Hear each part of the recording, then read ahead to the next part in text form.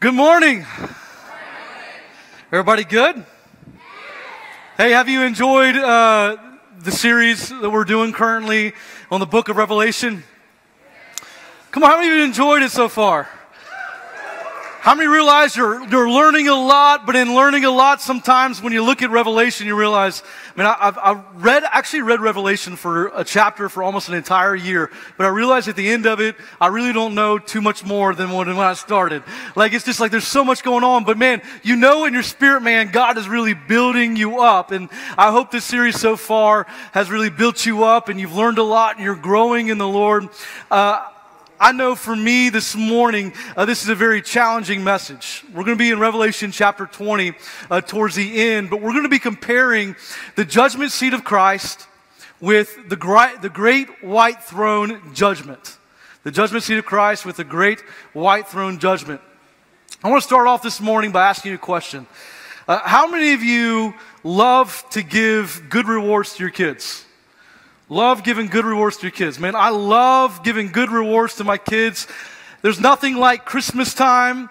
And when they come down, they come uh, into, uh, the, into the room with all the gifts and their faces light up and they get that gift they really wanted and they're just so excited. There's nothing like that, is there? Uh, I also know as a wise father not to give rewards, not to give gifts unless they've really earned those gifts, right? Uh, my kids, they were both on the same soccer team. Last year, Ruth, she's uh, 10 years old, and Caleb, he's nine. They were both on the same team, and uh, Ruth was a defender, and Caleb was the striker. And Caleb scored a ton of goals. Ruth was tenacious on defense and stopped a lot of people from scoring, and they ended up going undefeated in their soccer season. And yeah, uh, so as a dad, man, you can imagine that watching your kids play, both of them on the same team, and them going undefeated. Man, it was such a treat for me and Laura. We had a ton of fun watching that season. But when they won it all, when they went undefeated, I said to them, and they received a trophy. I said to them, "Hey, this is the first trophy in soccer that you've actually really earned." This is the first one that you've earned put all the other ones in a box someplace and forget about them. But man, this one you guys have worked hard at. You've put in the work, you've put in the effort, and man, you deserve this trophy. Like you have done so good. I'm so proud of you. You have you have won uh, the race. You have you have finished. And this is really what Paul is talking about in Corinthians when he says, "Run the race in such a way that you receive the prize." Run the race in such a way that you receive a full reward. C.S. Lewis in the book Mere Christianity, uh, he writes this and he says, If you read history, you will find that the Christians who did most for the present world were precisely those who thought most of the next. It is since Christians have largely ceased to think of the other world that they have become so ineffective in this one. Isn't that powerful? Listen, one day you will stand before Jesus Christ as your judge. You'll either be going to heaven or hell. He will judge both believers and non believers. And in this room, some of you in this room, as a believer, you will be in front of Jesus and be so disappointed because you've kind of wasted your life. Because he will judge both believers and non believers. This morning, I've entitled my message Judgment Day. and with a title like that, we need some prayer. We need some Holy Spirit in this place, don't we? So let's just pray and let's invite the Lord here right now. Holy Spirit, we know that you are here. I pray that, Father, you would open our eyes clearly to see, Jesus, what you have for us in Scripture today. I pray that, Lord, you would open our ears to hear. That, Lord, we wouldn't just be hearers of your word, but, God, we would be doers of your word. Lord, not a single person in this place, God, they might have made a mistake, but now, Father, they didn't come to hear me. They didn't come to hear some words, God, but they all came to hear you.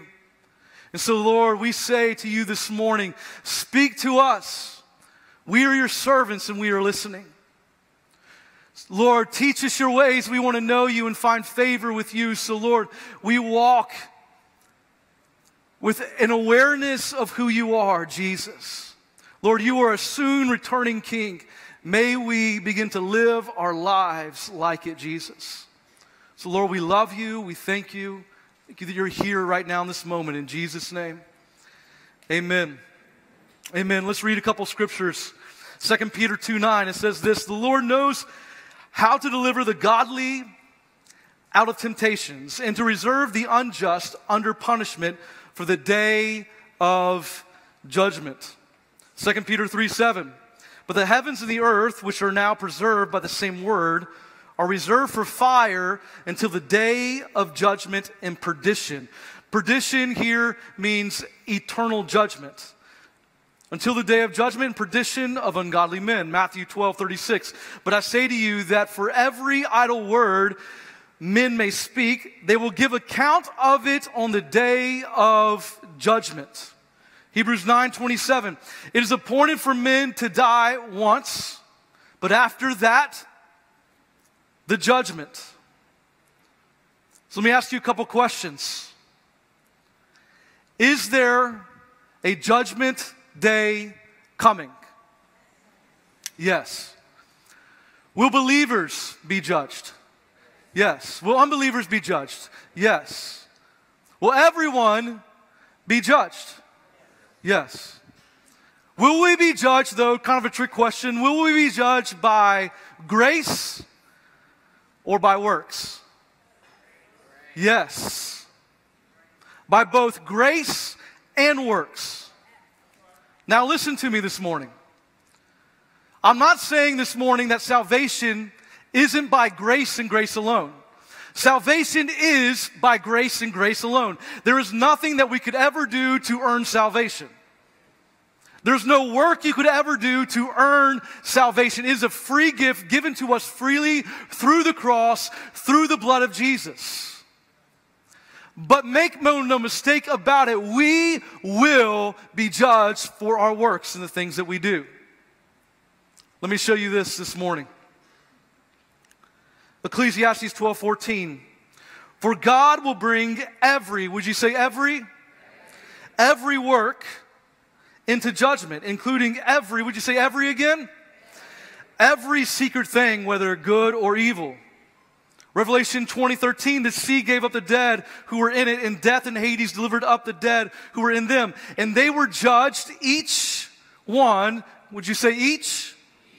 Each one according to his works. 1 Peter 1:17. And if you call on the Father, who calls on the Father? How many of you call on the Father in this room? Yeah. If you call on the Father, who without partiality judges according to each one's works, Conduct yourselves throughout the time of your stay here, being the time that you were living on the earth, in fear.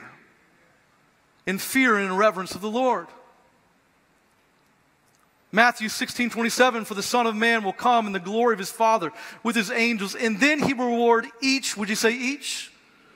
Each according to his works. Revelation 22, 12, last scripture. And behold, I am coming quickly, and my reward is with me to give to every, say every, everyone according to his work. You see, I am an each. You are an each. We are in every. Each and every one of us will be judged according to our works. But will we be saved by works? No. Listen to this. Ephesians 2, 8 through 9. I love this scripture. I am so thankful for this scripture.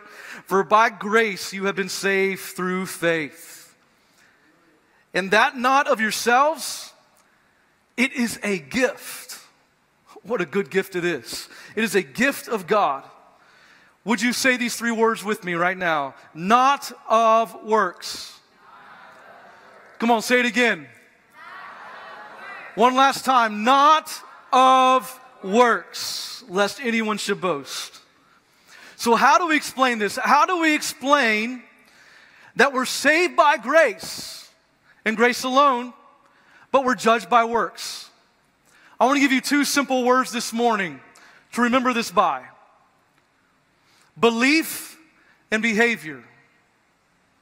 Two words belief and behavior. Belief determines where you will spend eternity, behavior determines how you're going to spend eternity. Belief determines where you'll spend eternity. Behavior determines how you will spend eternity. In heaven, we're going to be judged and rewarded for our works. In hell, people are going to be punished for their works. How many of you are so thankful that if you were a believer that you are not going to be judged for the bad things that you do here on this earth?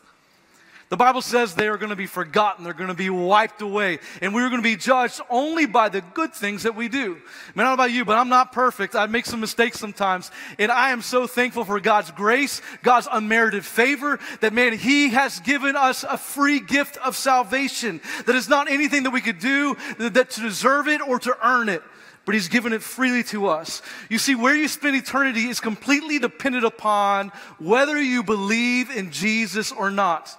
At the judgment seat of Christ, everyone is a believer. At the great white throne judgment, everyone is an unbeliever.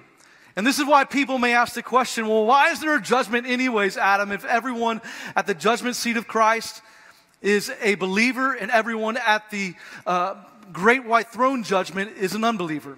Because at those judgments, it's not a judgment of belief, it's a judgment of works. We will be judged by our works. And this is what I'm trying to tell you this morning.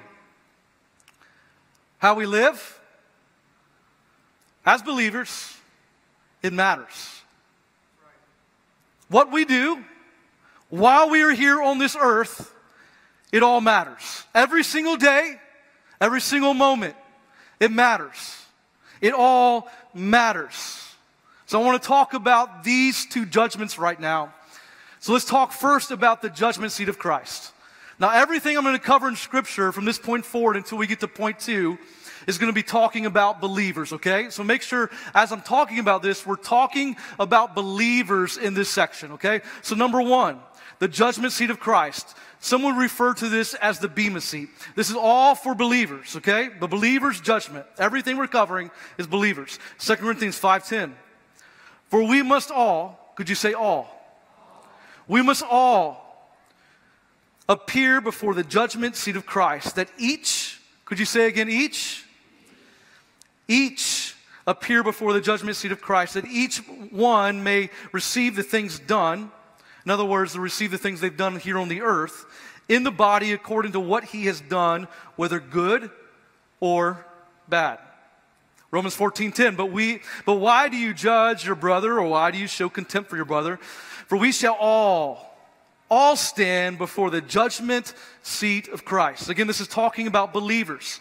1 Corinthians 3:10, this is Paul writing. According to the grace of God which was given to me, as a wise master builder, I have laid the foundation and another build on it. Again, this is Paul writing, another building on it, and this is referring to Apollos, who was building upon the foundation. But let each one take heed how he builds on it. For no other foundation can anyone lay than that which is laid, which is Jesus Christ. Now, if anyone, this includes us, builds on this foundation with gold, silver, precious stones, wood, hay, or straw, each one's work will become clear for the day. Day is capitalized here because it's talking about the day of judgment. For the day will declare it because it will be revealed by fire, and the fire will test each one's work. So the fire is going to test everyone, every believer's works of what sort it is. If anyone, verse 14, if anyone's work which has built on it endures, he will receive a reward. If anyone's work is burned, he will suffer loss. So he's going to lose his reward, but he himself will be saved. These are all believers we're talking about here, yet again, okay? Yet so as through fire. So what this is saying is this you can build with gold, silver, and precious jewels as a believer. Or as a believer, you can build with wood, hay, and straw. You can be building and doing things that are going to be eternal for the kingdom of God. And you're going to receive a reward when you get to heaven for it. Or you can be building and doing things that are going to be burnt up. In modern day American Christianity, you know, it's very easy to fall into the trap of just living for the weekend, living and just, man, I just want to spend my life and enjoy my life, enjoy my family. You might be saved, but you're not doing things that you're going to receive a reward for eternally. Now, you can also be doing things that are eternal, but because of your heart, because of the way you do them, they're going to be burnt up and you will not receive a reward. Let me give you an example of this before I leave a scripture about it. Uh, you can be on the worship team. I love our worship team. They have an amazing hearts. They do an amazing job. Yeah. You can be on the worship team and you can be ministering to God through your worship. You can be doing it for Him. Because of your heart posture, the Lord is using you and moving through you, and He's uh, and you're doing it for God and not for yourself. But the same person who's singing the same songs, doing the same thing, going through the motions, could be doing the same exact thing, could be doing it from a heart of, man, I just want to receive glory. Man, I want people to look at me, and their heart posture for the Lord is not one that is pure. Will those two people receive the same reward? Absolutely not they will not receive the same reward because one person is doing it unto God in ministry unto the Lord, the other person is doing it because their heart posture before Him is not right. Listen what Jesus says about this in Matthew 6 1 through 4. He says, Take heed that you do not do your charitable deeds before men to be seen by them.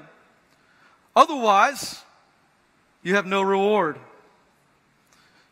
you have no reward from your Father in heaven. Therefore, you do a charitable deed. Do not sound a trumpet before you as the hypocrites do in the synagogues and the streets, that they may have glory from men. As surely I say to you, they have their reward.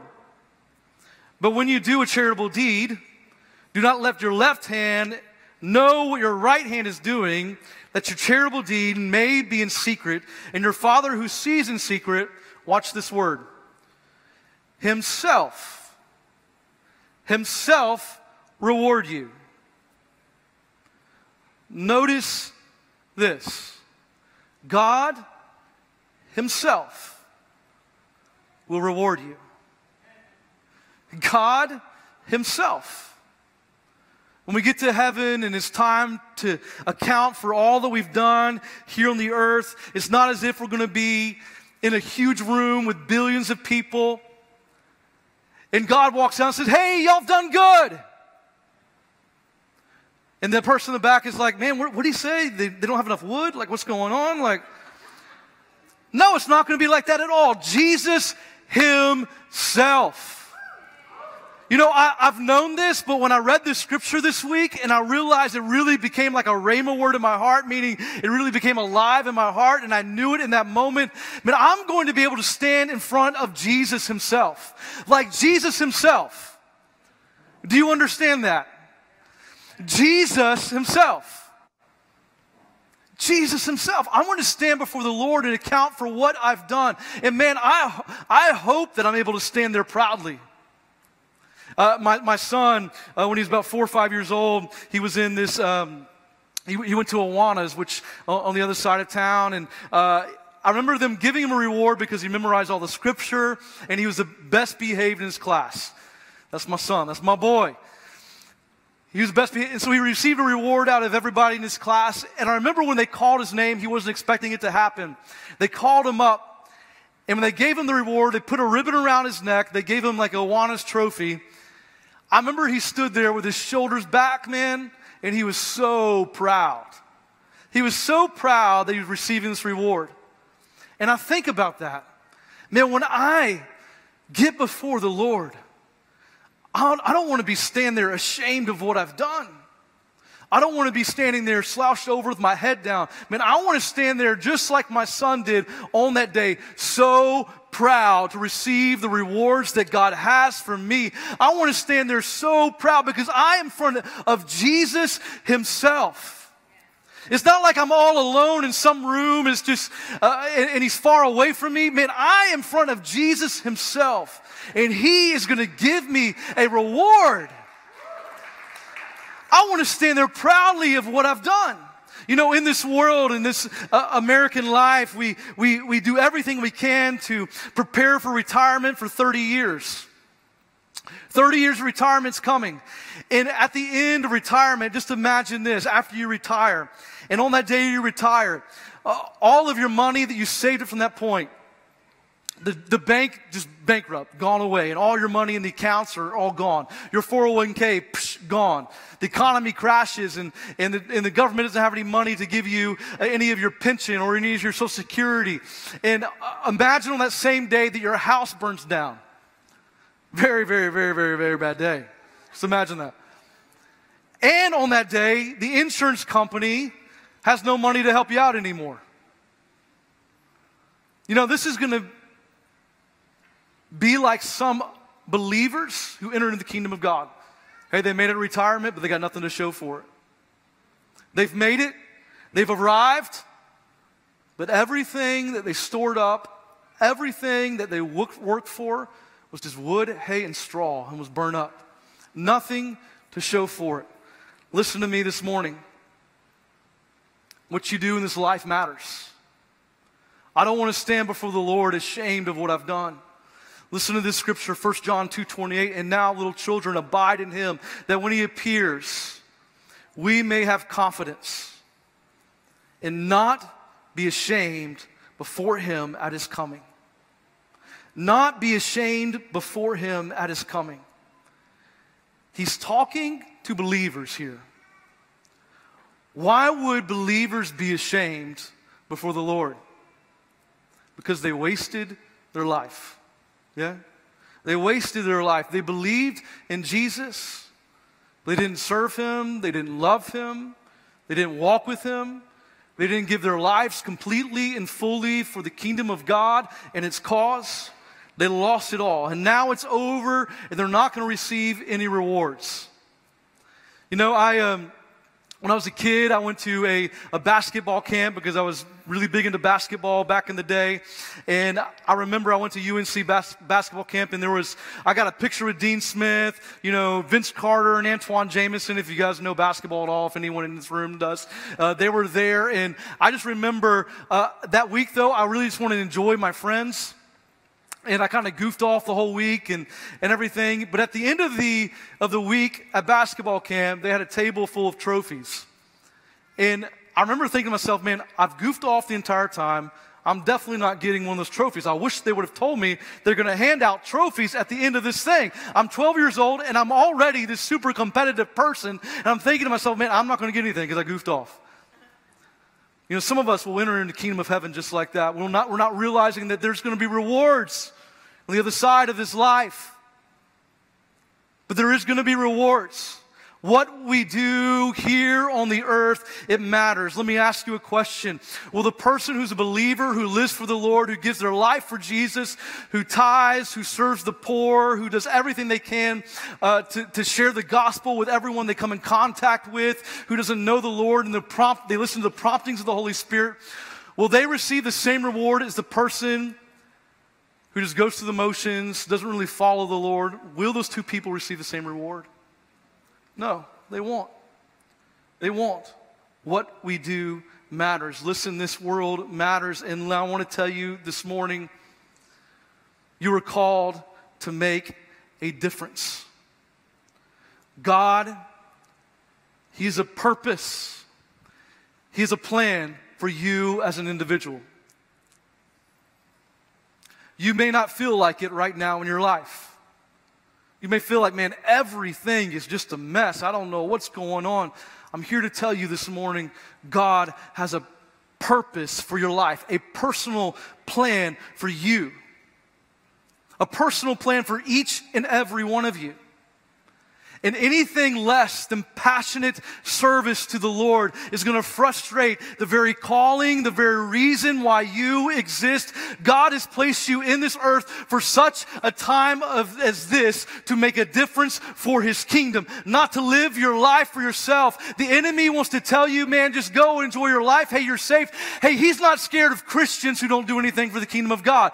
Who is he scared of? Christians who live their life fully devoted, fully, completely following the Lord, giving everything up for Him. And I don't care if you're six years old and you're young. I don't care if you're 70 years old. It is not too late. It's not too early to begin to live your life completely on fire for Jesus.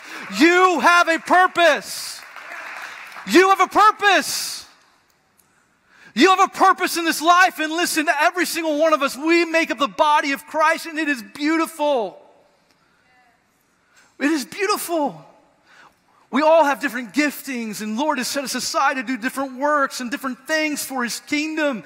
And when we all come together as a church, as Journey Church, to fulfill what God has called us to do individually, man, we're going to make such a huge impact on this city, on this nation, and even I believe on this world, because we begin to walk in fulfillment of what God has called us to walk in. You have a purpose. God has a destiny for your life. Walk in it. Stop talking about doing it. Stop saying, I'm going to start it next week. Stop posting on Facebook that you're going to do it or, or the appearance that you're doing it and just daggum do it, right? Just do it for the kingdom of God. Just do it. It matters. It matters. It all matters. You have a purpose. Number two, the great white throne judgment. Let's talk about this judgment now. Now, what we cover from this point forward, we're talking about the judgment for unbelievers, okay? This is the judgment for unbelievers. So, Revelation uh, 20, the great white throne judgment, the unbeliever's judgment. Revelation 20, verse 11 Then I saw a great white throne which is why it's called the great white throne. And him who sat on it, from whose face the earth and the heaven fled away. And there was found no place for them. And I saw the dead, small and great, standing before God. And books were open. Notice the plurality here. Books were open. And another book, singular, was opened which is the book of life. Listen, this is a great example of belief and behavior. If you believe, your name is in the book of life. Okay? Now, all the works of everyone is written down in the books. Okay? So, see the books. The books are works, they're books of deeds of every single person. Let's continue reading. And the dead were judged according to their works by the things which were written in the books. The sea gave up the dead who were in it, and death and Hades, Hades in Greek here is, is hell, and death and hell delivered up the dead who were in them, and they were judged, each one according to his works. I asked you a question a moment ago Will believers, will believers receive the same reward? A believer who gives their life to the Lord and lives completely and fully for Him, who shares the gospel, serves Him selfishly, selflessly, will they receive the same reward as someone who just lives for the weekends and just goes through the motions? No, they will not. Now, will the unbeliever receive the same punishment as the person who may not really know the Lord? They're an atheist but you know they don't really do anything wrong. They just kind of go through life but they're overall they're a good person. Will they receive the same punishment. Remember belief determines uh, where you're going to go. Will they receive the same per- punishment as a rapist or a murderer? No they won't. Just think about it. A person who is good but they don't believe they won't receive the same punishment as Hitler, who killed six million Jews, will they? Listen to what Scripture says about this. Matthew 11, 24. This is Jesus' own words. What are you, Chorazin? What are you, Bethsaida? For the mighty works which were done in you have been done in Tyre and Sidon, they would have repented long ago in sackcloth and ashes. But I say to you, it will be more tolerable. It will be more tolerable for Tyre and Sidon in the day of judgment than for you. Verse 23 And you, Capernaum, Capernaum, who are exalted to heaven, will be brought down to Hades, Hades meaning hell, for the mighty works which were done in you. Now, watch this. This is an amazing statement from Jesus. For the, uh, which were done in you had been done in Sodom, it would have remained until the day. In other words, Sodom would have been saved if I would have gone there and done works, the same works in these three cities. Remember, Sodom and Gomorrah was the, uh, the city, the cities where not even 10 people were found righteous, and so it was destroyed by fire in the Old Testament. Verse 24, but I say to you that it shall be more tolerable for the land of Sodom in the day of judgment for, than for you. You know, that's not something you want to hear, is it? So, what was done in these three cities? The mighty works of Jesus himself the mighty works of Jesus himself. He went there, he healed, he preached the gospel. And yet they still rejected him. And he's saying here to these three cities, I mean, Sodom and Gomorrah would have been saved if I went and did those works. I went and did those things. Because how many you know the Lord knows the heart? He knows what would have happened. But you, you've rejected me. And it's going to be more tolerable for Sodom and Gomorrah, whom I had to destroy, than it will be for you at Judgment Day. He's talking about degrees here. So, is it possible then that unbelievers are storing up judgment for themselves? Yes, it's very possible. Romans 2 5. But in accordance with your hardness and your impotent heart, you are treasuring up for yourselves wrath in the day of wrath and revelation of the righteous judgment of God. You see, every person will receive the righteous judgment from God. And he says, because of the way you're acting, because of the hardness of your heart, you are treasuring up for yourselves wrath. To the believer, he was saying, Remember, I advise you to store up treasure in heaven. To the unbeliever, he's telling them, You're storing up for yourself wrath on the day of wrath. This morning, I'm not, I'm not trying to scare you. But there is a healthy, as Bishop talked about this morning, there's a healthy fear that we must see the Father as. Because one day, every single one of us will come before Jesus and we will be judged for our works. We'll be judged. Now, how you believe depends on which judgment you go to. As I said before, the great at the judgment seat of Christ, the Bema seat, which is the believer's judgment, everyone there is a believer. They'll be judged based on, uh, they'll be rewarded based on what they've done. But at the great white throne judgment, they're going to be judged and they're going to be punished for their works. And while you're here on the earth, this is the only time that you can choose to believe in Jesus. It is the free gift of salvation. And what happens when you choose to believe in Jesus is at that judgment, He's going to cover over every single thing you've done wrong. It's going to be blotted out white as snow. That's why God sent His only Son. John 3:16, for God so loved the world that He sent His only Son, that whoever would believe in Him Whoever would believe in him would not perish, but have everlasting life. You have a choice to choose to believe or choose to reject God, just as those three cities did. What will you choose? I'd like to ask everyone in this room right now just to stand. Would you stand with me? Would you bow your head and close your eyes? while you're here on the earth, you have the opportunity to make a decision to believe. If I could beg of you, and I'm actually going to beg of you, I beg of you, give your life to Jesus. Choose to serve Him. You know, while you're standing there with your eyes closed, I'm, I'm so bothered sometimes by this scripture, and I think about it a lot. Narrow is the road that leads to life, and wide is the road that leads to death. Many people think that they believe, and they're believing based on their parents or their grandparents or for some other reason. And they live their life and they go through their life thinking they believe, but they don't actually believe.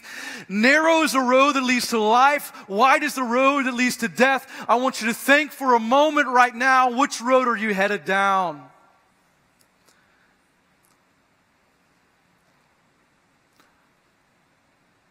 I beg of you, choose life. Choose life. The Holy Spirit right now is calling and pricking your heart, and He's showing you something right now. And if that is you this morning, and you want to give your life to Jesus, you want to uh, give all of who you are for the sake of the gospel, for His kingdom to come, I just want to invite you. Would you raise your hand if you want to give your life to Jesus? With every head bowed and every eye closed, there's no one looking around right now. I see that hand. I see that hand. I see that hand in the back. I see that hand. I see that hand. I see that hand. Come on, yeah.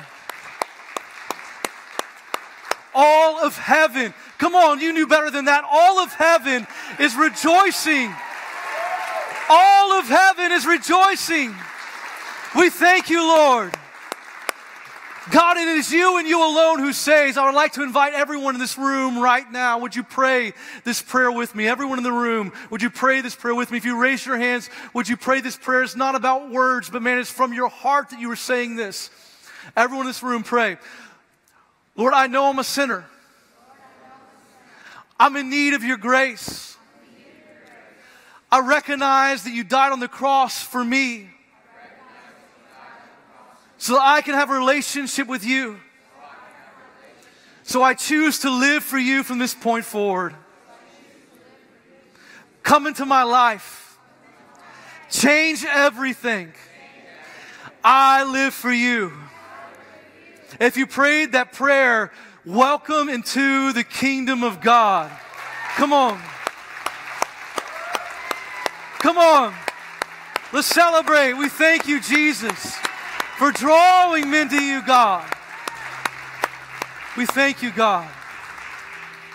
Man, we are all sinners in need of the grace of God, and the only way to heaven is to believe. And if you prayed that prayer this morning, please, please, please, please, please. We're opening it right now for ministry time. If you prayed that prayer as I dismiss everyone this morning, please come forward and pray with someone up here. Please do not, it's very important. If you raise your hand, do not leave this place without praying with someone up here. We want to help you out on your journey with the Lord. So come forward and receive prayer. Everyone is dismissed. If you need prayer for any other reason, they're up here to minister to you, to pray for anything you're going through. If you raise your hand, please come forward. We love you guys. Have an amazing week. Remember, go live and do great things for the, for the, for the kingdom of God. He has given you the grace because you believe to do those works for Him. Amen. Have a great week.